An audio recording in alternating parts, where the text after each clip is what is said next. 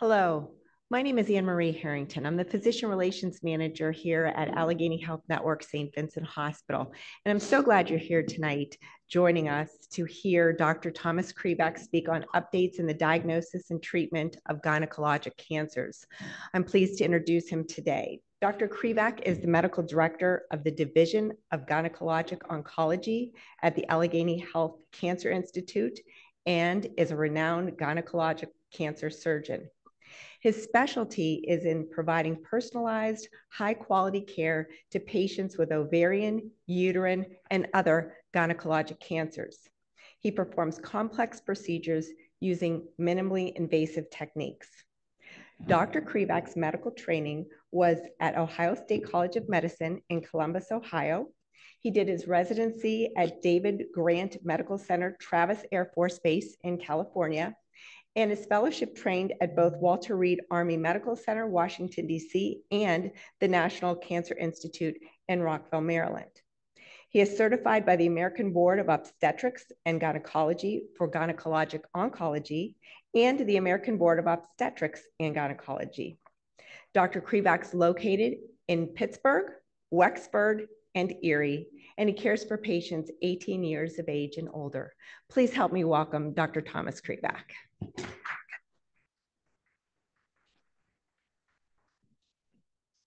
Anne-Marie, thanks for the kind introduction. Um, thanks for everybody being here and everybody that's online as well. Um, what I want to talk about today is um, I want to try to answer some questions and and um, and and and try to change some thoughts with respect to uh, how people think about their cancer care, and then uh, give you an outlay of how I treat patients in, uh, in our program in GYN oncology at, at, at AHN. And um, what I would say, if there's questions that come about, uh, go ahead. Uh, there's, there's no such thing as an interruption. It's uh, just ask a question at any time. Um, I am the division director at GYN oncology at AHN, and I do have um, many good partners, Dr. Miller, Dr. Crafton, Dr. Nakayama, Dr. Morris, Dr. Wild, um, are all my partners and you know we have many many outreach sites. So uh, i'm not caring for you one of my partners and and we, we try to do everything as a group. And so um, we do a lot of, um, of conferences and we try to do uh, treat patients very similarly. Um, but again there may be some slight differences based upon uh, biases. So for today we're going to talk a little bit about epidemiology and some basic clinical trial nomenclature. And then I do have some pictures of, of cancer, of like what we do in the in the operating room. So uh, it's they're, they're photos of, of, of, actual surgical debulking. So if, if you're interested in that, uh, keep your eyes open. If you're not, you can go ahead and close your eyes. Um, screening, um, to me, I, I when I left my fellowship in 2002, um, my, my, goal was really to help develop a screening test for ovarian cancer. I, I really uh, we looked at proteomics and all kinds of things when I was at the NCI, and I was hoping that uh, we would have a screening test, but we can't screen for all cancers. And so, you know, to me, we'll talk about screening, talk about genetic testing, talk about therapies such as PARP inhibition, immunotherapy. ADC is not ABC with me putting the D instead of B. It's uh, antibody drug conjugate, which is a new novel way of medications that are being developed, and then cellular therapies, and then uh, conclusions and questions. And so really to kind of, to, to when we talk about clinical trials, phase one clinical trial, when, when you hear of a clinical trial that's a phase one clinical trial, what that means is, is the medication that's being investigated in this trial shown some promise in the petri dish as well as within lab animals. And a phase one clinical trial is highly suggestive that it's going to work, but in that, we're trying to find the safe dose. So we actually will treat three patients, look at the dosing, look at the side effects, treat three or four additional patients, look at the dose, look at the side effects, treat three or four additional patients. And when we hit what we call as toxicity, then we'll go back down a dose and make sure that that, that is a tolerable dose for those patients. So we'll look at that and then we'll say, okay, in this phase one clinical trial that we had 24 patients, what is the signal to move that into phase two? Phase two is how does this drug work? And there are mm-hmm. certain levels of evidence that we've looked at in the past that will say we need a response rate of X, we need a duration of response of Y in order for us to say that the medication is effective. So phase one is finding the dose of the medication, what is the, the tolerable dose. Phase two is how well does the drug work? And not all drugs of medications in phase two are going to meet that bar to move on to phase three, which is let's compare two effective treatments. And the FDA in, in patients who have rare cancers will use phase two trials to rapidly develop novel medications for us to bring to the clinic for patients. And so you will see some medications get approved that may be withdrawn later on based upon further evidence. But when patients with cancer think about a clinical trial, a lot of times people are nervous about getting a placebo. In general, we don't do placebo controlled trials where we give somebody medication and somebody will not receive a medication when they have active cancer. There are some placebo controlled trials that we will do for patients who are in remission to see if further treatment works better than, than no treatment. But, but for the most part, we're not doing placebo controlled trials in that if you have a recurrence of your cancer and you have active disease, you are going to get treated with a medication that we feel is effective. So I think that's one of the myths that we hear about um, with that is I don't want to be on the placebo. And again, you know, we want our, our patients to, uh, to, to, to get the most effective therapies uh, for, for them. And so obviously we want to limit uh, placebo as well. Um, and so the phase three trials are, those are the large trials that say, treatment A is very good, treatment B is very good, but which is better, treatment A or treatment B? And then sometimes phase three trials are just combining novel medications to see can we make the treatment work better. So to me, that's kind of the bottom line when you look at the basics of clinical trials. Now, there's a whole bunch of different ways of looking at this. If you get on Google, you can phase find phase 1b expansion trials you can find randomized phase 2 trials there's a whole lot of nuances but this is the basics and so a lot of times people come to me and say well we want to be on a clinical trial and they'll go come back and they'll come back from an institution and I'll see it's a phase one trial. And I know that we have effective medications. Sometimes I'll say, hey, you know what? If this was a phase two or phase three trial, we should consider that. But this phase one trial, probably not the best since we have a, a whole litany of, medications that are effective. So you you will get some biases uh, uh, amongst that as you go through some of these um, clinical trial selections. But to me, that's what I wanted to highlight, and, and hopefully that makes makes sense for folks. Um, and today in, in my talk too, I'll, I'll show some, some data from uh, some from phase three trials as well. And so when you think about cancer, um, you know, it, it's an evolving process. So you have prevention and screening, normal function, uh, environment, family history are all going to play into to factors. And again, what are we thinking about? We, as a cancer doctor, I want to prevent cancer. So we want to do prophylactic surgery, remove the structure before it develops cancer. So you may be removing a normal over uterus or cervix. Some cancers have premalignant changes, some cancers don't. You know, we're not convinced when I show this slide for ovarian cancer that there is a definite pre-cancer change for ovarian cancer, but for breast cancer, you have atypia of the, of the ducts. For cervical cancer, you have cervical dysplasia. For colon cancer, you have polyps as well as dysplasia. And then preclinical disease screening, and then cancer. So when, when we think about how we want to develop our, our, our programs in, in the United States as well as at AHN, you know, where can we affect a patient's journey? How can we really, in my mind, not treat somebody with cancer? How can we detect it early or identify that high risk population? And, and we, have done uh, some of that, but uh, obviously we're, we're, we're not there yet because we still unfortunately have patients who develop cancer throughout the United States. So cancer screening, some some myths here. Uh, Pap smear and HPV testing is is a good screening test for cervical cancer, so no doubt about that. What Pap smears don't screen for is endometrial, ovarian, or fallopian tube cancer. So I do see a lot of patients who come in and say, "I had a Pap smear just six months ago. How did I develop my uterine cancer, ovarian cancer?" Unfortunately, the Pap smear is getting exfoliative cytology from from the cervix or the endocervix or, or the vagina. It's not getting cells from the endometrium or the fallopian tube. Now, I will see a patient probably once every two to three years that had an abnormal pap smear, and that's how we detected their endometrial cancer or their ovarian cancer, but it's not a screening test. When you think of a screening test, think of a test that you want to have, uh, you're screening a whole population, so you're going to have a lot of false positives, which means you um, you're going to have patients who screen a test as positive but don't have cancer because you want to limit the false negatives because you want to detect everybody that has cancer. So you're going to have a, a, lot of false positives and a screening test then goes down to diagnostic tests. Okay.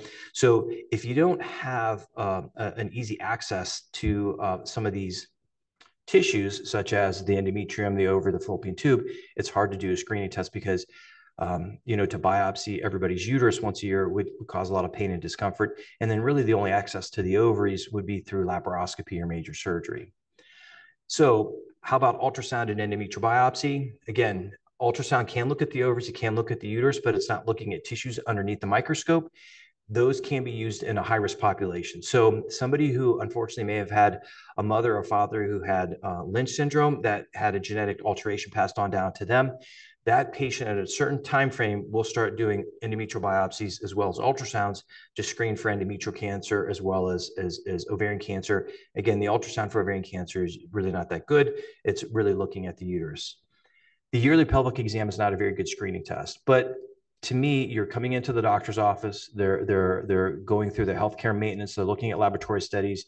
So to me, a, a, pelvic exam does detect patients who have either large fibroids, growths, things of that sort. So it's a fairly inexpensive exam, but it's not a very detailed examination. So it's not uncommon for somebody to say to me, I had a pelvic exam eight months ago and everything was fine. How did I develop my cancer of the ovary or the uterus or something of that sort? A, a, a pelvic exam is not a good screening test, but I do think a yearly uh, well woman exam with a pelvic exam is, is, is a smart way to uh, approach healthy living. Ovarian cancer screening with ultrasound and CA125 does not work. And I do have some studies that will kind of talk about that. Um, you know, uh, I can remember being in Texas when I was in the military. I was driving by, it's like a Rite Aid, and they had check your thyroid, check your, your glucose level, and check your CA125. And I started to get chest pain because a CA125 is not a good screening test. Um, young women can have high CA125s for many, many reasons uh, normal menstruation, endometriosis. Uh, it's not a screening test whatsoever. And about one third of women with early stage ovarian cancer are not going to have an elevated CA125, so it can give a false sense of reassurance. There are certain populations, again, high risk groups of patients, patients with strong family histories, genetic alterations such as BRCA mutations or other mutations within genes that predispose to ovarian cancer. We will screen those patients. Again, it's an enriched population that has a higher incidence of cancer. So you're going to have a more effective screening test for that. Um, but the bottom line is, is most of the studies have shown that CA125 and ultrasound are not very good screening uh, studies. So really what we need is we need additional population-based screening for patients with ovarian cancer as well as endometrial cancer. When I left my fellowship 2002, I thought for sure a woman would come into the gynecologist office give us a tube of blood, some urine, and swish and spit in a cup, and we'd be able to classify their risks for breast cancer, ovarian cancer, tubal cancer, endometrial cancer, and cervical cancer without even having to do an examination. Um, unfortunately, that has yet to come about, but we're getting closer. This GRAIL um, is a test that's called an early detection test. And you may start to see this because, um, you know, in the United States, we are a healthcare system that's based upon companies and, and, and, and development of, of, of tests and medications. This test is, is out there and um, it's recommended for patients over the age of 50. I shouldn't say recommended. The company promotes it as uh, for patients over the age 50 to detect cancers potentially at an early stage. And it's, it's you give a tube of blood, and what it does, it looks at what we call methylation patterns. And methylation think about um, you can turn genes off um, by, by methylating them. So the lights in this room could go out by us flipping the switch. That would be like methylation. Or the lights could go out in this room because there's a genetic defect within the, the structure of the electrical wiring. So the electricians would have to come back and rewire that. So methylation is turning off the switch, whereas the genetic alterations are, are inherited from mom to, from, from parents to offspring. So um, what GRAIL does is it looks at methylation patterns to help detect early stage cancer. The problem with GRAIL is um, it, it ranks cancers. It can say, you know, you're positive for one, two, or three, and it still misses about 50% of the cancers. So it's it can give a false sense of reassurance. I think GRAIL has a, place somewhere in screening, probably the high risk population, possibly for patients who had cancer, and we want to follow them a little more closely. But unfortunately, we just do not know how to use this test just yet. Um, I think it's between 750 and $1,000 uh, for the test. So you can imagine getting that done yearly um, could be fairly expensive for everybody in the United States over the age of 50.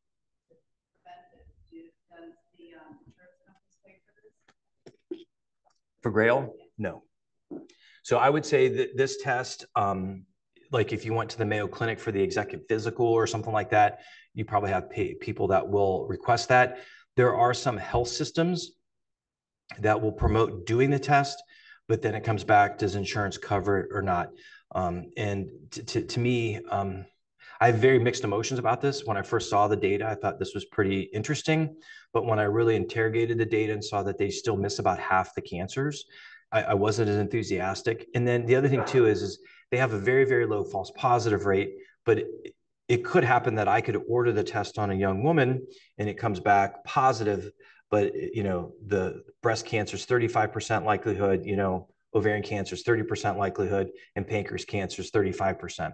what do you do? You get a CAT. So it could give a, a false sense of what's going on uh, with, with, that. I do think it's the best that we have out there right now, and I do think that this is something that we're going to build upon. So hopefully, in the next five to ten years, we'll have this type of early detection because I do think it's very, very important. And to me, um, methylation is one way of looking at things.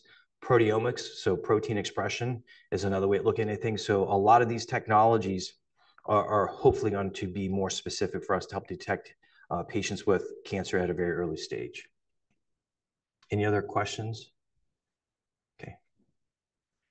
So ovarian cancer, um, you know, what's the most important thing about ovarian cancer? In my opinion, um, you know, surgeons were arrogant. We think we're the most important people, um, but but but but you know, you need a team, and so the surgery is important. Medical oncology is very important, but also you can see their expert pathology review. Um, you know, ovarian cancer. When you look at cancer in the United States, about 240,000 women with breast cancer, about 200,000 with lung, 180 or so to 200,000 with colon cancer. And you get to ovarian cancer, it's now under 20,000. It's 19,750.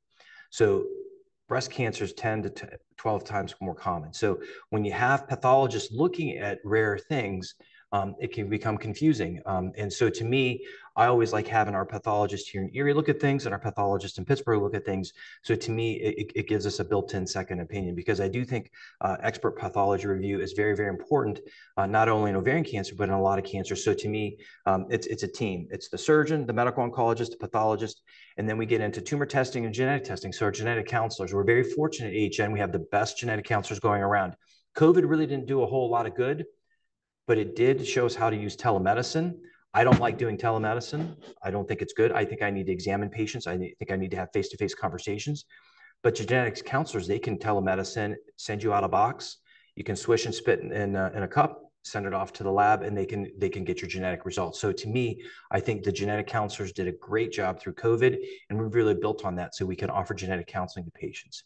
Then again, some novel therapies that we'll talk about immunotherapy, PARP, antibody drug conjugates, targeted therapies looking at other molecular abnormalities within the tumors, and then uh, uh, clinical trials with, with respect to ovarian cancer. And again, you can see here that unfortunately, the majority of patients with ovarian cancer are going to be stage three, stage four, and you see some of the five year survivals right around 40 to 50%. Again, it's a very chemosensitive disease. It's a disease that we need to use surgery and chemotherapy for. But again, it's, it's a virulent disease in that at times it wants to recur. What to make note of is that in 2021, this there's about 20,100 or 20,500, 21,000 cases. So our number of ovarian cancer patients appear to be decreasing, which um, could be a couple things. One is, is genetic testing. And so we're taking out uh, patients' uterus, ovaries, and fallopian tubes who have a genetic abnormality, have yet to develop ovarian cancer. Um, or we're using more OCPs to help um, decrease the ovarian cancer rates because oral contraceptives help uh, prevent ovarian cancer. Um, or it's just a, a, a misnomer because of COVID and patients are starting to go back to the doctor now. We're going to see the rate rise back up. So I'm very hopeful that it's a cascade testing effect because I probably do a risk reducing surgery uh, once or twice a month. And risk reducing surgery means um, the patient in front of me does not have cancer, but has a genetic abnormality that places her at increased risk for ovarian, tubal, or endometrial cancer. And we're doing surgery before they develop cancer. Um, so to me, uh, this is where we're at with ovarian cancer with the epidemiology.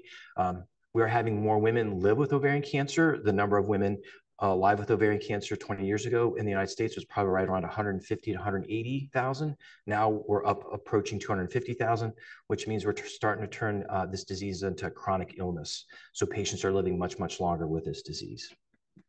And again, when you think about ovarian cancer as a process, how I really wanted to, to my career to grow is really to try to detect that premalignant change. And there's not a defined premalignant change in ovarian cancer or come up with a screening test.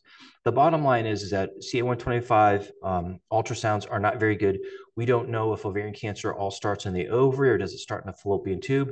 The lining of the abdomen is lined by the peritoneum, and that's where we think that serosa is similar on the ovary as it is the, the lining. And so some people believe that there's a field effect with ovarian cancer. I think that one doesn't explain everything. There's probably a field effect in certain patients, and there's are certain patients that probably can be preventive. Um, but the bottom line is, is that there's a lot of challenges for us to develop a screening test for ovarian cancer, and this kind of highlights it. But you can see the genetics and the family history. We're really making some some headway there. Um, I think when Angelina Jolie was on the cover of Time magazine. She had a BRCA mutation. She had breast cancer. She underwent risk reducing surgery for her uh, for for for her ovaries as well as breast. And, and that was, I think, that that that made this seem like, wow, you know, if she can do it, other people can go ahead and get tested. So I think that there was a jump in genetic testing uh, after she had, uh, done that. Um, but the bottom line is that when we think about ovarian cancer, most of our efforts are focused on treatment to improve our treatments for patients who have been afflicted with this disease. And so looking at ultrasounds, this is from the, uh, the UK, and the UK has a really good system in that it's socialistic medicine. Everybody can be registered, and you can see MMS versus ultrasound versus overall. This kind of shows you the number of patients that went on this trial, 98,000 that, that were totally enrolled. So you can see in order for us to do screening tests, we need lots and lots of patients because, again, the incidence of the disease, how often that disease occurs, is going to affect how well the screening test works. So, in a low incidence of disease such as, as ovarian cancer, you're going to need a significant number of patients. And what you can see when you look at the, the MMS, which is ultrasound and CA125 versus the ultrasound only group, um, uh, you, what you could see is, is that the majority of the folks, 101,000 patients, the majority of folks did not have uh, a, a decrease in, in death from ovarian cancer. However, in my mind, you know, that's one way of looking at things. But the other thing is when you look at here, when you look at screen positive, looking at early stage versus advanced stage, you can see that we started to detect some patients at higher rates of, of early stage ovarian cancer. So to me, uh, I would even think of diagnosing a patient at stage 3A. 3C is where I'll show you the pictures of where patients have large volume cancer if I could diagnose somebody at stage 3A where they have microscopic cancer uh, in, in the upper abdomen, those patients seem to have a higher curability rate and do very, very well.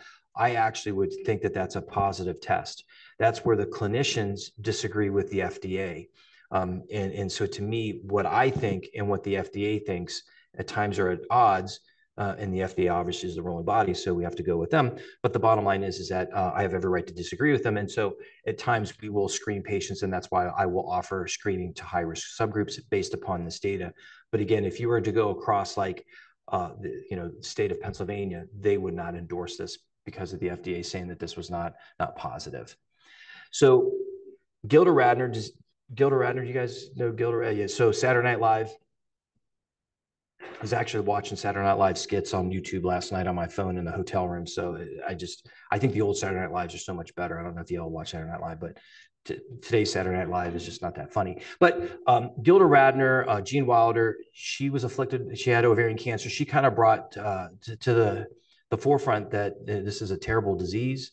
Um, you know, we, we need to do better. There was absolutely no research into this area. In the 70s, care for women uh, for ovarian cancer was just not uh, very good.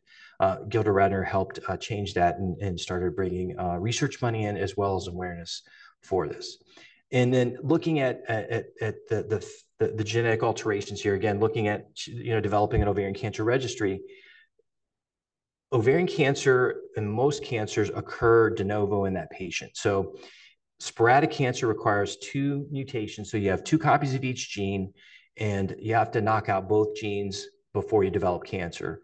And somebody who has a BRCA mutation or a mutation, you only need to knock out one of the copies because one of the copies is, is non-functional. So to me, that's why when you look at women who have some genetic alterations, not every woman with a genetic alteration develops cancer. It's at a much higher rate, but not everybody, because again, you still have the one uh, functioning gene. And when we look at patients who come in and see us, probably about 80% will have what's called the sporadic cancer, which means it happened in them. You don't have to have a family history.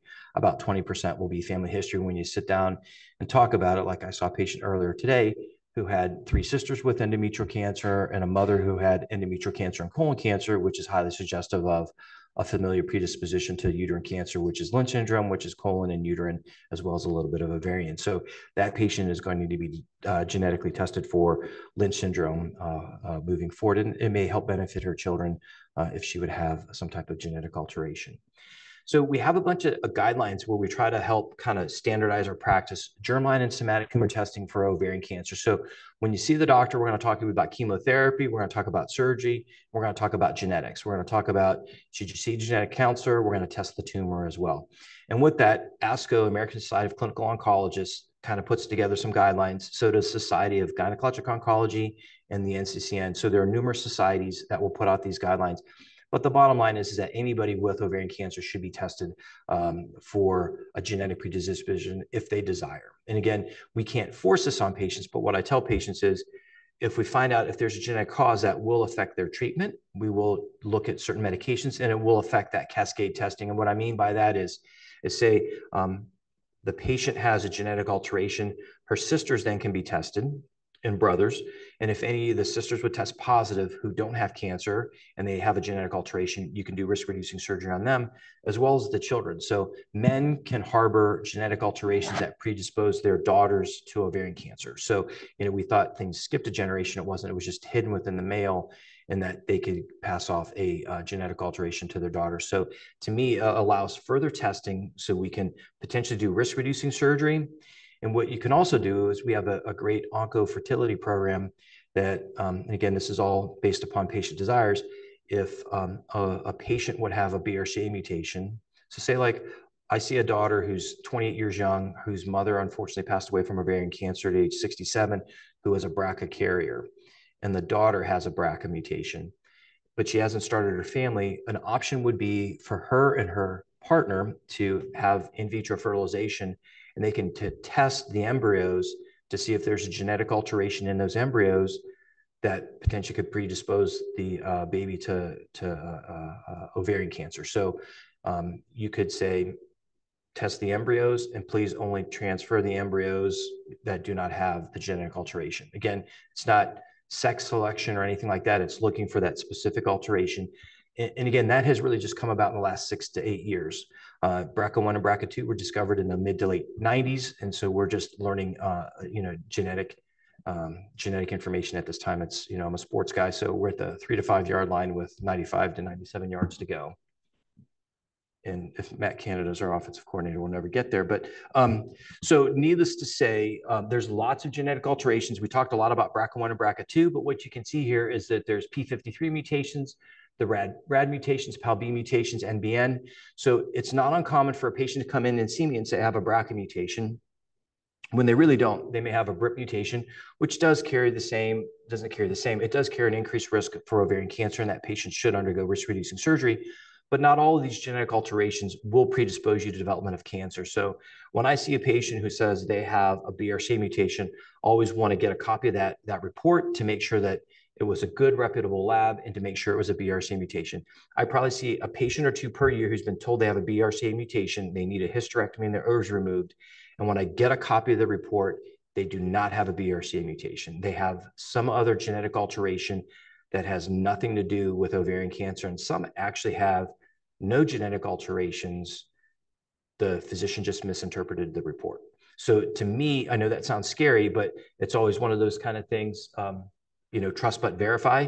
Uh, always listen to my patients, but when I before I do a surgery on a young woman that's going to be risk reducing, I want to copy the report. I want to make sure it's done by a, a reputable lab. Um, you know, the what's that 21 and me or me and 21? What's the what are those? There we go. So people will get a genetic alteration that may be positive there. I would never do a risk reducing surgery based off that. I would have them see our genetic counselors and confirm that mutation because there are mutations in many genes that have absolutely zero effect on that genetic function. So there can be mutations that are called polymorphisms, which means it's just a normal genetic variant, um, but it is a genetic variant. It has nothing to do with function. So I would want to confirm that before I, I would do any type of surgery. And this shows you how far we've come here. Um, these, uh, this gentleman here, Dr. Berchuck, he's at Duke um, and um, you can see that's dated 1994. I think there's a lot to be said about this. This is a hand typed letter. So it's 1994, no email, because this is coming from England to Duke. This Dr. Lancaster I think he at one point worked for Myriad. He may have worked for GSK at one point, but he was a fellow at Duke. So at first he was a scientist, communicated with a surgical oncologist. You can see the, the British gynae oncology. Um, but these were two gentlemen whose labs were intimately involved with the discovery of BRCA mutations. And this is how they did it. This SSMCP is how we used to do genetic testing, where you'd have to have a lot of DNA and you'd test everything. Now we have gene probes that can look at this. So uh, to me, you can see here, I'm excited about getting my hands on more DNA from this family as they're trying to discover patients who had a strong family history to come back and look at these genes.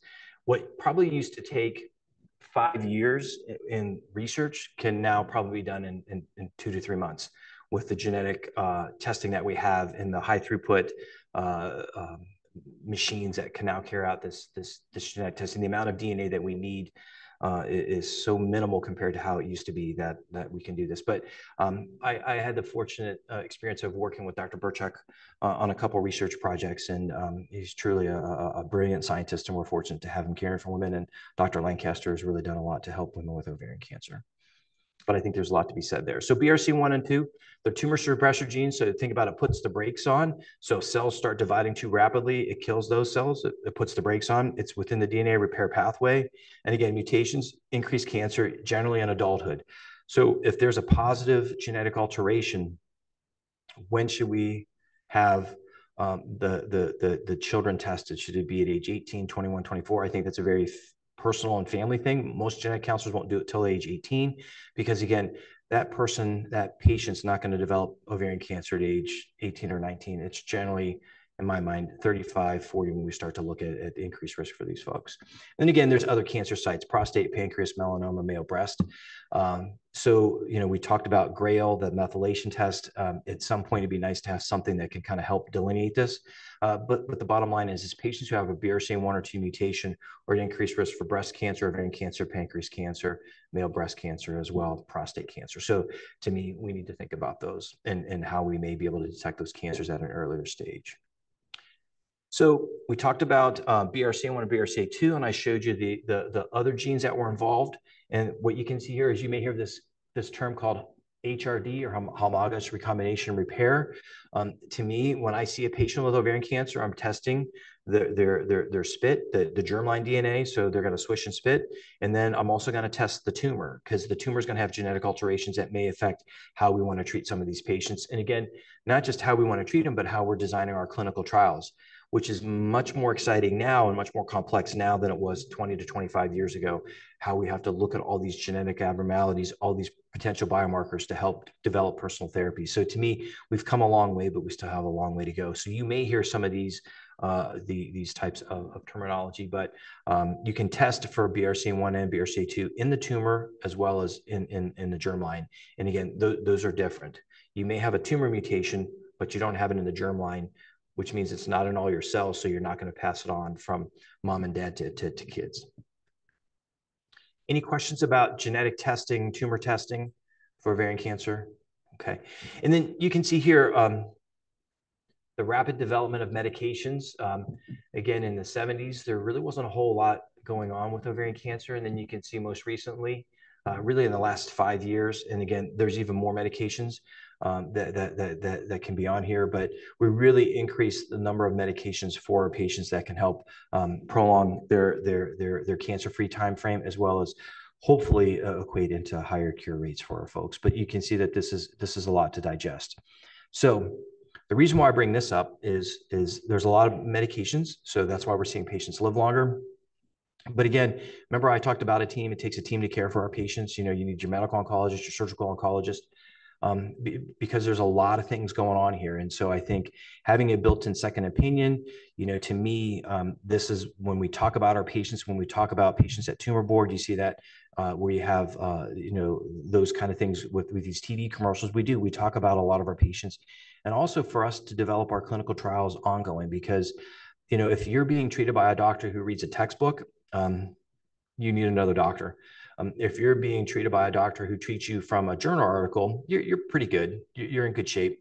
Um, if you get treated by a doctor who goes to these meetings and treats you before the publications, um, that's where you want to be. And, and that's where, you know, we're, we're at AHN. You know, we are trying to treat patients on trials. So we are changing the standard of care for, for, for, for these women and making sure patients do much better and giving everybody an opportunity to, to be as aggressive as they want to be with their treatments. And so these are some of the decision trees that we have to make as we go through our patients with ovarian cancer. And this is somebody who comes in and sees me. What do we need to think about? Germline tumor testing. We need to think about decision one. Do we give chemotherapy first or do we do surgery first? Decision two, you know, how long are we going to do the chemotherapy? What's the frontline chemotherapy? Do we add uh, certain medications? And then decision number three, is how we're going to do our maintenance treatment. So, you know, what I tell everybody is we want to get rid of all the cancer. We want you to be in remission. Remission is no evidence of cancer by blood test, CA125, by CT scan, or by physical exam. And then we want to prevent that cancer from coming back. And so to me, that's where my biggest bias is, as you can see, maintenance therapy, and that I think everybody should undergo some form of treatment, whether it's an oral medication, uh, IV medication, or a combination of those oral and IV medications. So this is probably going to expand even more uh, as some of the clinical trials read out.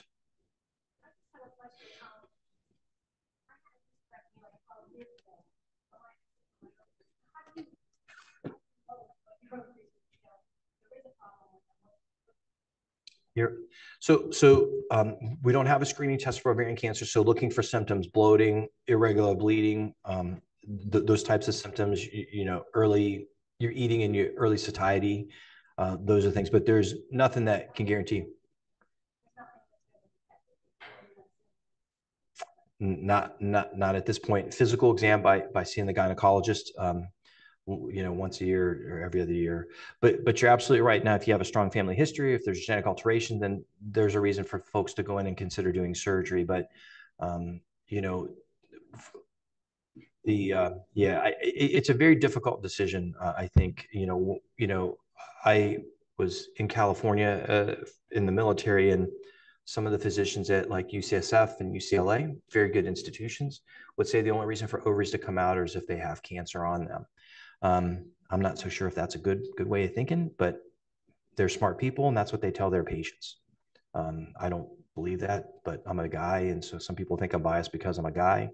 I would say um, I'm a guy that's a cancer doctor, and so you know I want to do what's best for women but you know everybody has their biases as well. So um, but there's nothing i can say or do that would say you, are definitely a-okay except the risk of ovarian cancer is pretty low. It's about 1.5% to live into age 70 no no.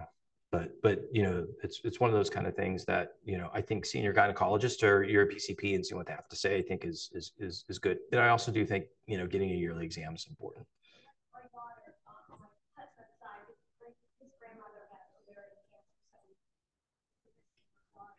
So that's like that's like three degrees of separation. So I would say that's a third and a fourth degree type of of, and so that would have no no significant change. When we start to see two or three first degree relatives with breast and ovarian cancer, I think your risk goes up to about five percent. So one and a half percent to five percent. So that's about three times elevated. That's when a lot of us will do risk reducing surgery. Um, you know, to me, I think part of being a, a, a, surgeon is is knowing the data and communicating that to, to, patients, but it's also to make them feel comfortable with their decisions. So, have I ever done it because uh, a daughter saw her mother pass away from ovarian cancer and she doesn't want to see that in herself? Yes, I've, I've done that. A first degree, one first degree relative probably takes it from one and a half percent up to probably maybe two percent. Um, so, and, hopefully in the next you know five or ten years we'll be able to get better information for you. Any other questions? So to me, this is great that we have all these decision trees because in the last 20 years, I see patients doing much better because we've changed how we've done timing of our surgery. We've changed how we've done our chemotherapy and we've added maintenance treatment. And to me, um, it's a huge difference from me finishing my fellowship in 2002 to caring for a patient today. And I've changed how I care for a patient today um, is different than it was three years ago. Um, and so to me, um, I think that we're making really good, really good progress. So again, um, utilization of long-term maintenance therapies, medications such as Zejula or Lynparza, olaparib or niraparib. Again, I think that those are very, very important medications for, for patients who have HRD tumors who have BRCA mutations, as well as for patients who have no genetic abnormality. Antigenic therapy is the bevacizumab. To me, I'm a, I'm, a, I'm a big believer in this medication. I think this medication potentiates a lot of other chemotherapies.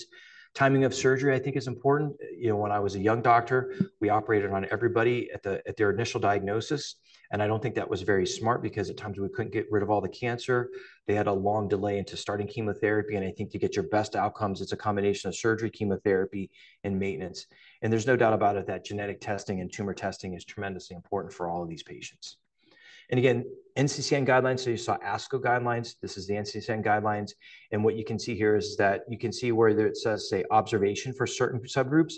But to me, if you have a BRCA mutation, um, uh, you definitely should get a PARP inhibitor. However, I kind of believe all patients with advanced stage ovarian cancer should be treated with maintenance therapy.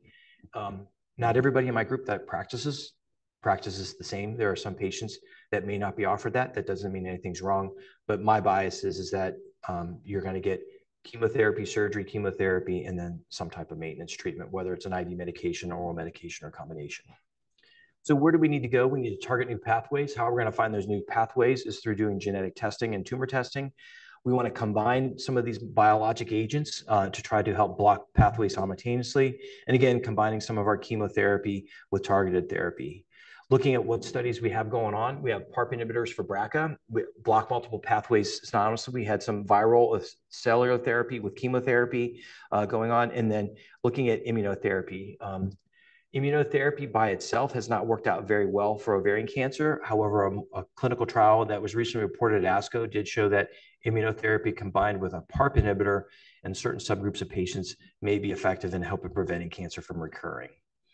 And so looking at some of these ongoing trials, um, the first trial, again, looks at standard chemotherapy and then looked at a combination of different uh, combinations of using immunotherapy with antigenic therapy with a PARP inhibitor. So there were some patients who were getting chemotherapy with two medications, and then the maintenance treatment or the long-term treatment for two to three years was three medications, and they were all biologic therapies.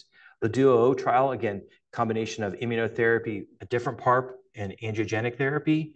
Again, looking at different combinations of medications. This DUO trial had its initial readout. This was the one that was read out at ASCO, which is a large cancer meeting in the summer in Chicago. Um, in, in one certain segment of the patients using combination immunotherapy with PARP may be a signal for us to, to look at that as well. Immunotherapy or VBL111 is a cellular therapy that was combined with Taxol. Unfortunately, in ovarian cancer, we've had four or five recent trials that read out that the medications didn't meet a certain standard, so they no longer went further development. So they're in that phase two and not going on to further development into further phase two or phase three. VBL 111 was one of those. Antibody drug conjugates are, are, are kind of um, uh, very exciting right now.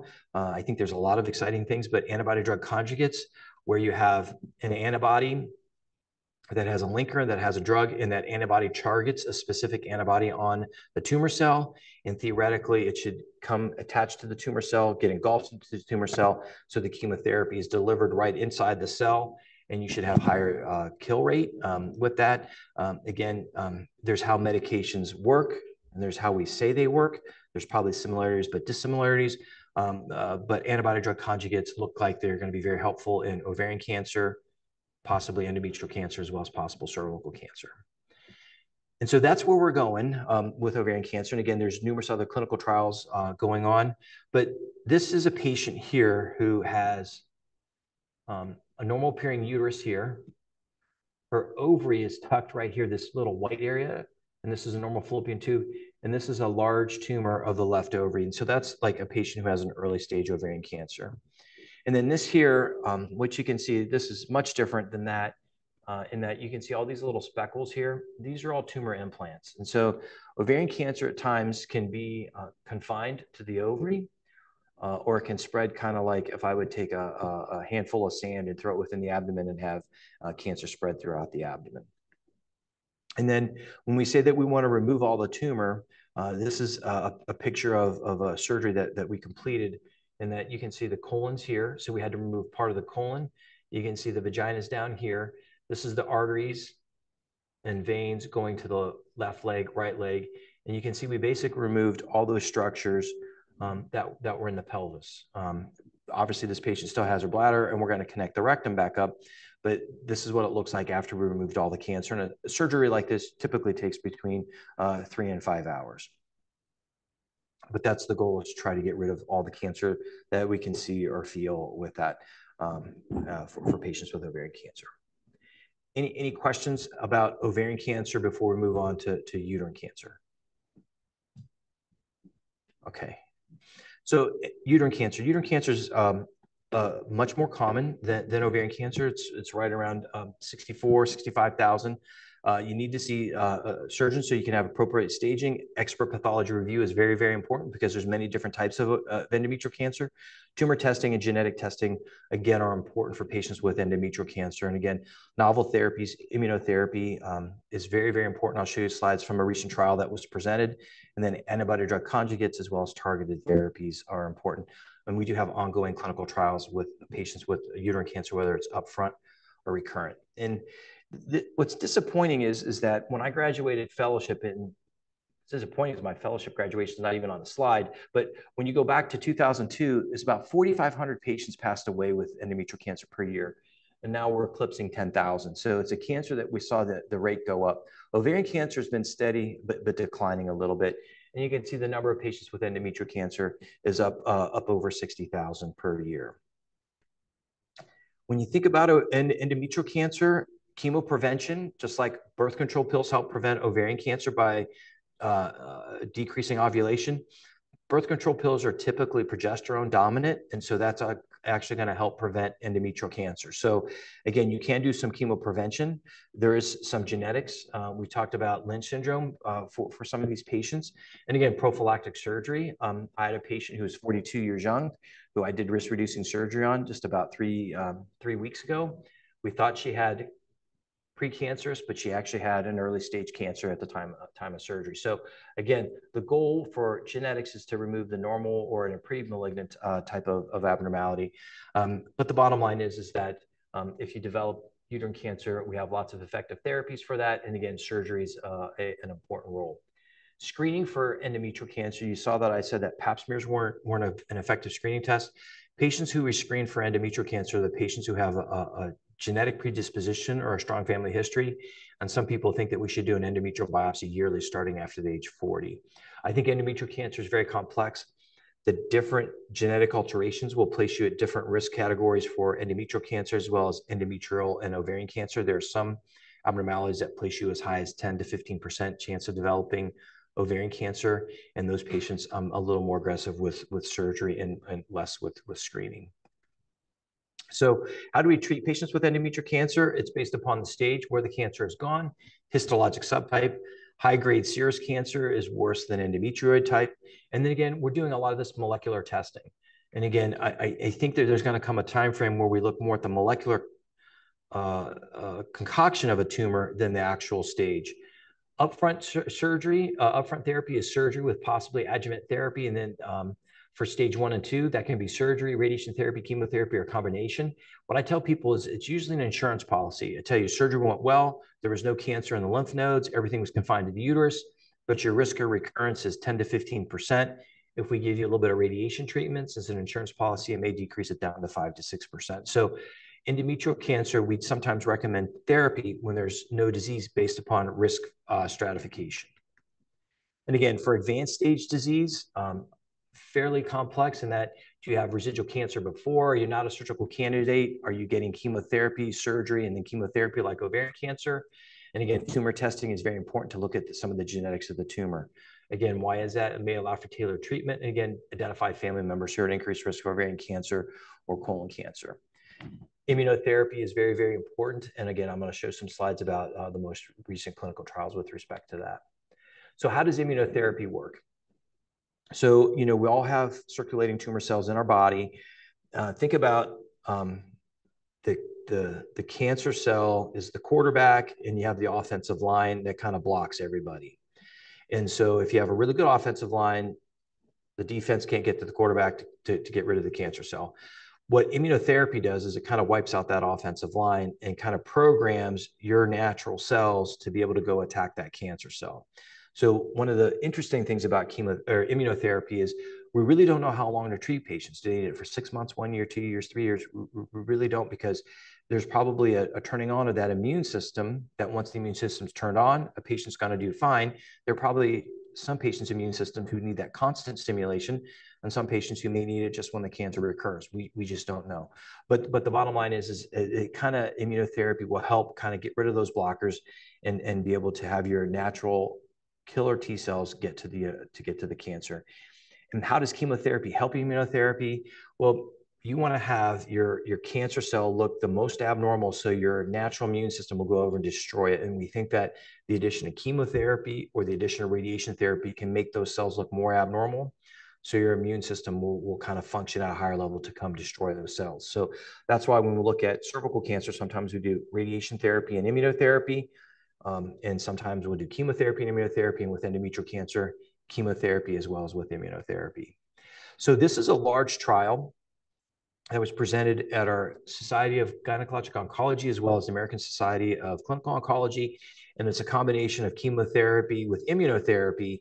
And I want to let you know how we think as clinicians, how we design these trials and how we kind of implement these trials. So again, dostarlimab is a medication that's an immunotherapy used to treat endometrial cancer. We did the phase two trial using the immunotherapy alone in patients with endometrial cancer, and it had very good response. So it was a phase two trial, recurrent setting, and it looked very good. So then we said, well, let's combine this with chemotherapy and use it in the initial uh, stages, in the initial diagnosis, or when those patients recur, and combine that with chemotherapy. And some people are going to get chemotherapy, which is the standard of care, and some people are going to get chemotherapy with immunotherapy, which is the hypothesis. So you can see we kind of take our clinical trials, we take how patients do, we take what we've done for a while, and we're now merging them into, into a new study.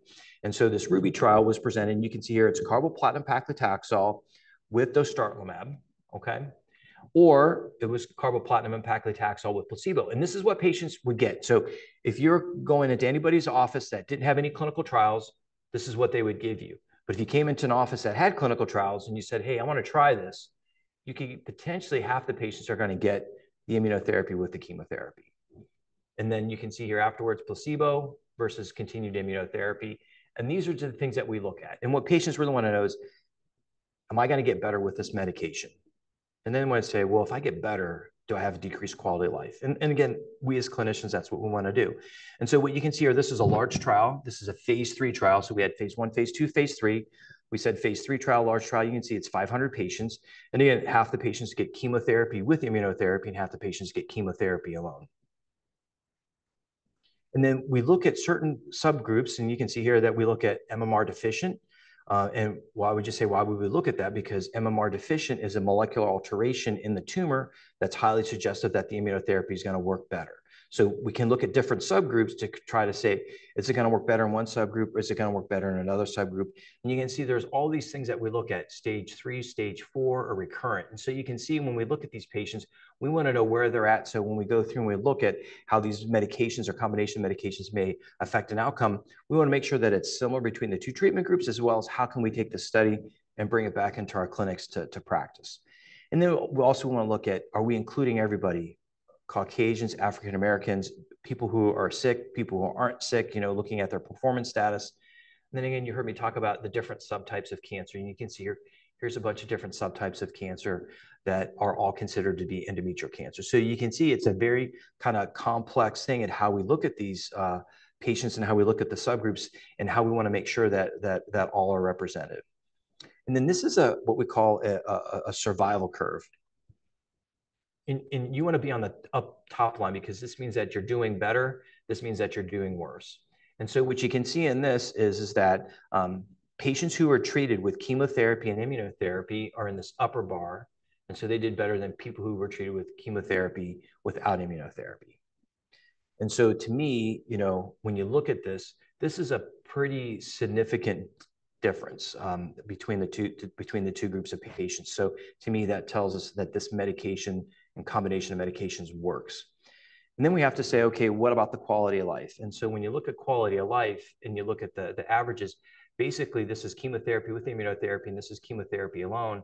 Your patients with chemotherapy and immunotherapy did not have a decrease in quality of life. And some people think you actually have an increased quality of life because you're going longer being cancer free. And so to me, uh, with that, We want to look at our goals of a clinical trial. Do we improve patients' outcomes by having them survive longer? Yes. Do we decrease their quality of life? No.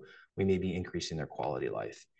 So that's how we look at a clinical trial and how we bring it from the pharmaceutical company and our NCI developing the trials to how we bring it into our clinic and offer to patients to what patients can go on and how we get the results. Okay. Because I was at the meetings that presented these, and immediately we had the research paper so we could start changing how we treated our patients differently uh, for this. And this is shows you how many investigators. This isn't patients.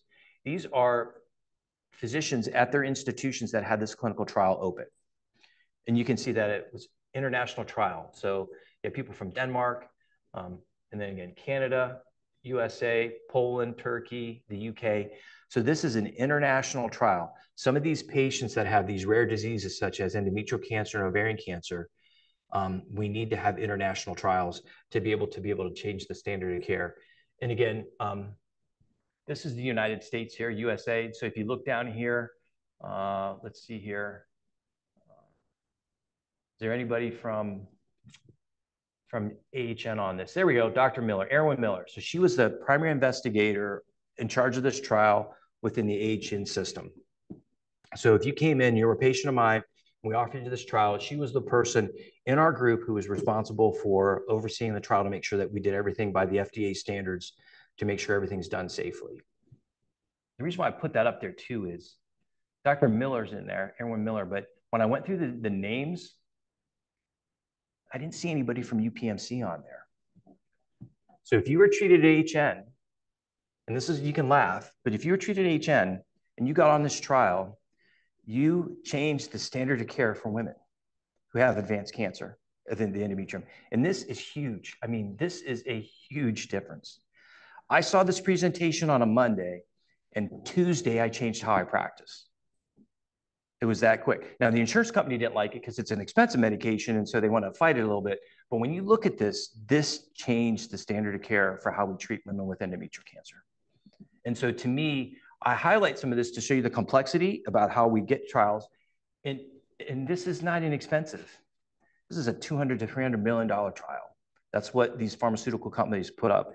And, and, and to me, I think that that shows their dedication uh, to, to, to the patients because we have not seen these types of results in my 20 years of practicing.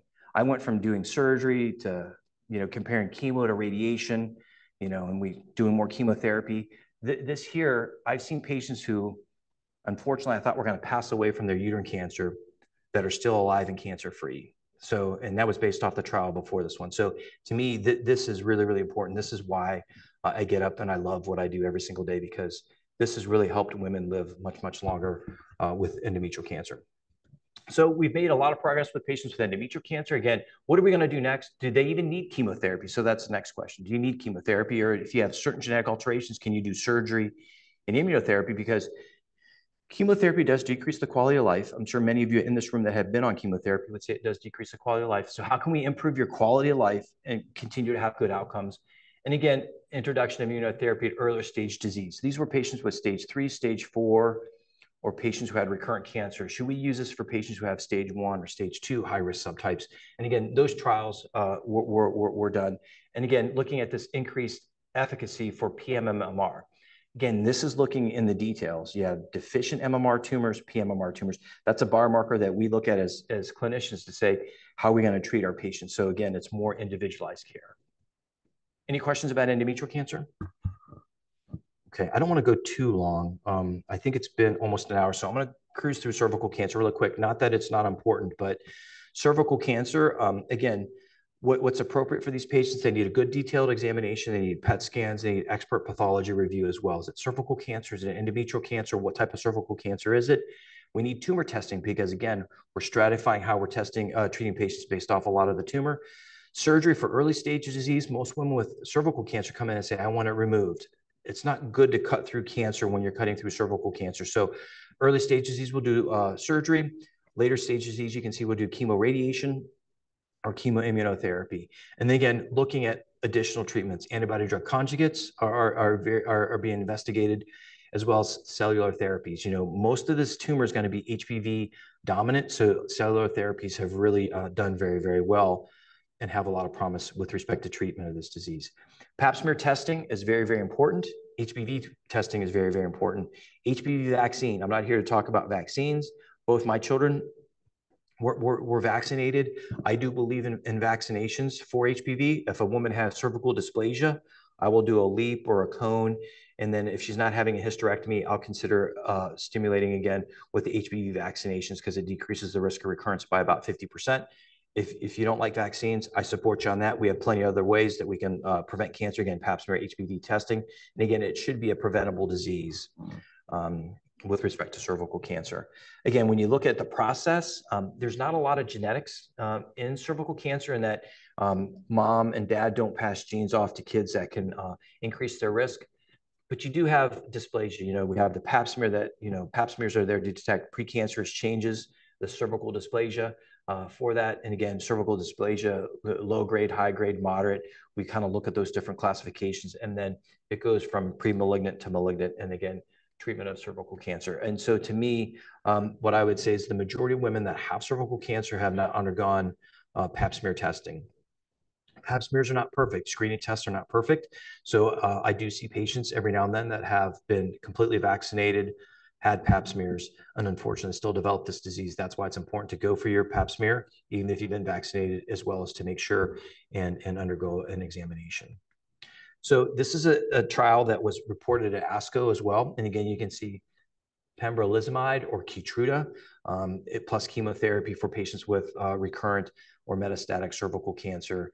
And again, this combined chemotherapy with immunotherapy as well as antigenic therapy. And then after the chemotherapy portion, you continued on either the immunotherapy or the immunotherapy with bevacizumab, the antigenic therapy for a defined period of time. And again, you can see that these clinical trials are, are designed, um, again, persistent or recurrent, you have to have a good functional status that tells you how healthy you are. And again, these stratification factors, just like I showed in the other trial, we look at different stratification factors because everybody's tumors are a little bit different and every patient's a little bit different. But you can see, you know, looking at this PD-L1 status, and that is a biomarker that may tell us how well immunotherapy works in patients with, with cervical cancer. And again, you can see it's a large number of patients, 620 patients. And again, it took two years to accrue uh, for, for, for the patients um, to, to try to get enough patients to help look at the different uh, outcomes. And again, you can see here that we look at very different things, the different stages, because patients are going to have recurrent. We look at different um, recurrences uh, versus distant metastases. We look at prior angiogenic therapy. We look at prior radiation therapy, because again, we talked about how radiation therapy may affect immunotherapy. And so we look at all these to make sure that when the company goes to the FDA, that we've encompassed basically any type of clinical patient that we'll see coming into our office to make sure that they can go ahead and qualify for this study or qualify for the medications. And again, um, the upper line is patients who receive chemotherapy with immunotherapy. The bottom line is patients who receive chemotherapy with uh, a placebo or bevacizumab. Now, again, you heard me say earlier that patients didn't receive a placebo. And now you're saying, wait a second, Tom, you just lied. These patients received a placebo. I lied. No, I didn't lie. These patients received a placebo with the immunotherapy, but they still received chemotherapy and bevacizumab because the standard of care, if you didn't come to an institution that didn't have this trial, if you went to just a, a, an institution in Clearfield, Pennsylvania that said, okay, what's, what's the standard of care? You're going to get chemotherapy with bevacizumab you're not going to get the trial, which was seeing does the addition of immunotherapy potentiate that. Okay. So, so to me, you're still getting treatment, but yes, you did get a placebo, but you're not getting placebo, you're getting active treatment.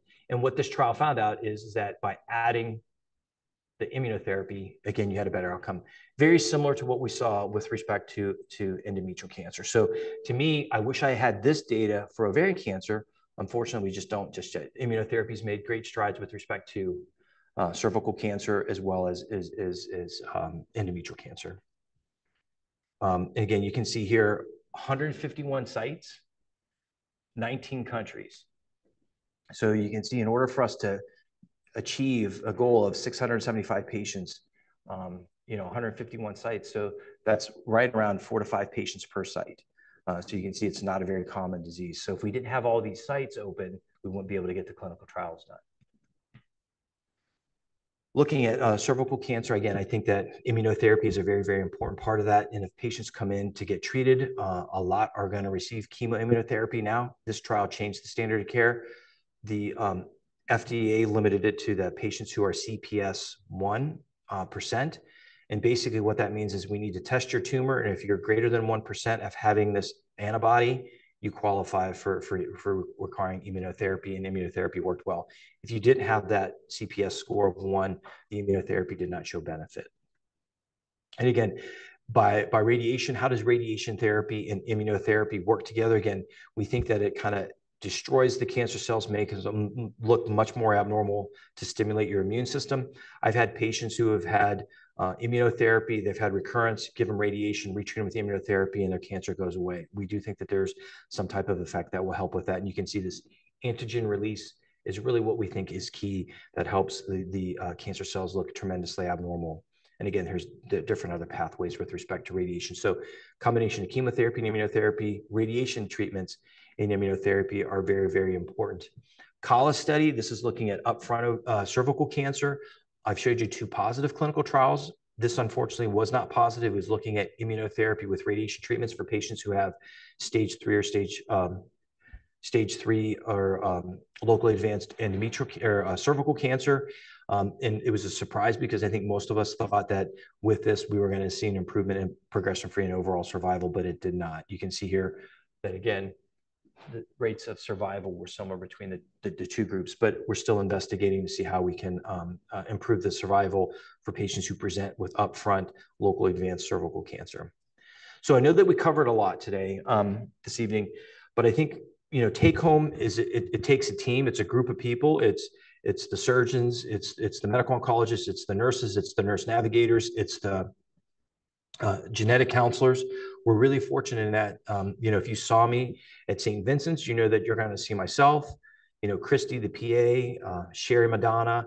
Uh, we're going to be able to get you referred to, to, to Dr. Rizwan, to, to, to Dr. Tashetti. Um, you know, the genetic counselors will be able to call you and do things over the phone. It really does take a team, um, and that's very, very important. Um, again, testing the tumor, I think is important. Genetic testing is very important. My personal bias is, again, you can see maintenance therapy uh, for patients with ovarian cancer and maintenance therapy is after the initial chemotherapy. Again, PARP inhibitors were leading the change and still are for ovarian cancer. If somebody has a stage three or stage four ovarian cancer, those patients are going to get treated with chemotherapy as well as a PARP inhibitor um, if they're being treated by myself. Immunotherapy is really, really important for uterine cancer. It has changed the standard of care for women with uterine cancer. It's changed the standard of care for patients with cervical cancer. Again, we're looking at multiple different biologic agents in future clinical trials. Uh, we have a, a, whole host at, at AHN that, that are very novel. It's disappointing the last four or five clinical trials for ovarian cancer that have been interpretative have not shown an improvement. So we're going back to the drawing board and, and seeing what we can do to improve, uh, see if it was a medication or it was a design trial. Um, but, but we need to continue to do that. And again, novel approaches to improving uh, cytotoxic agents are under investigation. So we actually have a trial where we're biopsying tumors uh, with ovarian cancer, we're looking at certain phosphorylation. You heard me talk about methylation, but phosphorylation can turn off certain pathways, and we're basing their chemotherapy based upon that phosphorylation. So patients are having to go through additional biopsies, but this is looking at a different cellular pathway to do that. Again, showing some of the team, the NOCC, um, again, um, Amy B and, and, and Aaron. Amy B uh, kind of runs the office down in Pittsburgh. She answers the phone probably 99% of the time. Um, she's always emailing me about making sure I have enough appointments because you know, I like to golf and all that kind of good stuff. So she's making sure I, am working.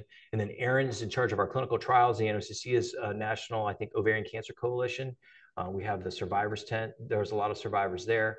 But again, I, I, think our office is, is absolutely wonderful in that they all volunteer to get out to try to support the patients at, at, at, at fundraisers such as uh, the walk. And really the NOCC is there to provide information to patients and patients' family. Uh, and I do think they really help getting patients to the right doctors because I think having the right team of doctors is very, very important. Um, and this is Pittsburgh. You know, I moved uh, to Pittsburgh. I'm not a Pittsburgh kid. I grew up in the Akron Cleveland area, was in the military, so I was on both coasts. Um, I never thought I would live in Pittsburgh. I said I'm going to be in Pittsburgh for three years, and then I'm going to move back to DC and work at the NCI, or go back to California, work at UCSF, And um, I just fell in love with uh, Pittsburgh and, and the city. And uh, I just think it's, uh, it's the greatest place going. So you guys need to give me a picture of Erie because I like coming up here. You guys have Presque Isle and I can, it's just, it's just a beautiful place. Even in the winter, I don't mind snow. I love coming up here in the winter. Drive takes a little bit longer, but uh, it's always enjoyable. So um, I appreciate your time. I appreciate you trusting us at AHN. Um, I think we have a great team. Um, I'm very fortunate to work with the people I work with at St. Vincent's, as well as at uh, West Penn, as well as within AHN. So, any questions at this time? Dr. Krivak, it's Crystal Ross. Um, Hi, Crystal. We really appreciate the um, presentation tonight and really would like to thank all the people who have attended the Ahead of Cancer Lecture Series event. Please continue to join us at monthly Ahead of Cancer Lecture Series as we focus on cancer screening, detection, treatment, and survivorship. As a reminder, tonight's lecture was recorded. If you are interested in rewatching the lecture, please check back on the AHN YouTube channel for the full recording. This video, as well as other past lectures, will be posted under the Ahead of Cancer playlist. If you'd like to schedule an appointment or have questions regarding a potential cancer concern, please call the Hope Line at 412 578 6473 to schedule an appointment. You may also call our 24 hour Nurse for You line at 412 687 4968. Thank you again so much, Dr. Krivak, and thanks to all who attended the, the talk this evening.